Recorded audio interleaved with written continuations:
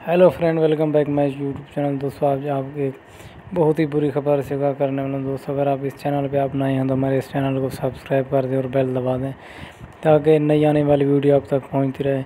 यहाँ दोस्तों W W E के फ़ेमस स्टार रिक्शी। यहाँ दोस्तों, रिक्शी रिक्शी को कौन नहीं जानता? ये ओसिस के बाप हैं।